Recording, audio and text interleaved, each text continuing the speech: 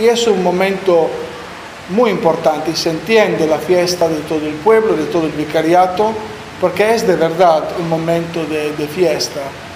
Eh, vengo de un pueblo muy, muy, muy pequeño, un, pueblo rural del eh, norte-oeste de Italia, en, en, el departamento de Piamonte, en provincia de Asti, donde se produce mucho vino, una zona de verdad muy rural. Y también por esta razón llegar acá me sentí un poco en mi casa, porque esto es el ambiente en que yo me crié, ¿no? Y como hijos de Dios tenemos que vivir recibiendo y dando, ¿no? Aprovecho la oportunidad para hacer conocer un poco las estadísticas de nuestro vicariato. Tenemos ya ocho sacerdotes diocesanos. Además hay tres diocesanos de la diócesis de Coroico, de aquí vecino, que nos ayudan en, en una zona allá en Palos Blancos. Hay un diocesano castrense que ya se abrió la, la, la, la, parroquia castrense en San Buenaventura, entonces estamos a la par de otras diócesis, ¿no?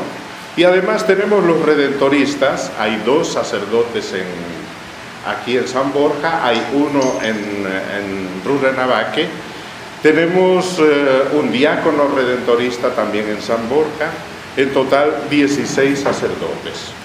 Además, tenemos los hermanos menesianos en San Borja, se ocupan de cinco colegios, aunque son solo tres.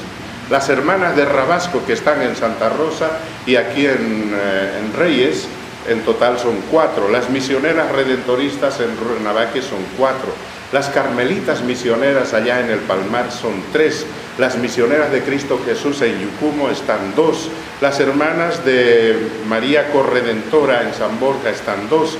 Las hermanas Lauritas están cinco, tres en San Borja y dos allá en Misión Fátima. Y las hermanas Teresitas que están allá en Palos Blancos son cuatro.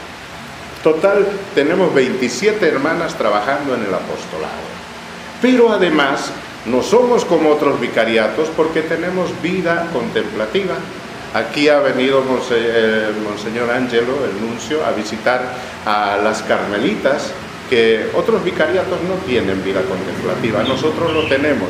Son siete hermanas de vida contemplativa y bueno, tenemos al hermano Andrés, que es aquí un, un, pilar de nuestra comunidad en Reyes, que también desde que se jubiló como carpintero hace vida contemplativa.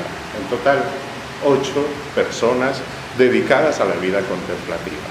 En ese sentido, pienso que estamos avanzando, ¿no? Lo económico no digo que no es importante, es importante. A tal punto es importante que el Vicariato de Reyes es el que más aporta, por ejemplo, en el mes misionero o en la colecta del domo. Quiere decir que no solamente recibimos, sino también damos. Y si damos, damos también en vocaciones, damos también en testimonio y como dice el nuncio, se verá más adelante